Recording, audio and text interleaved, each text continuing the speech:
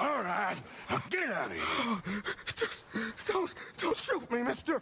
I got a family. And run away. Why did you do that? He didn't need to die. Maybe he'll go tell his friends now what happens to poachers. I've seen enough of this. I'm heading back. Okay.